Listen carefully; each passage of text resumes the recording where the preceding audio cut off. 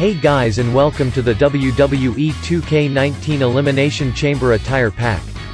I hope you did enjoy the pay-per-view, here are the attires of the event from PS4, I still cannot download AJ Styles attire so he is missing again.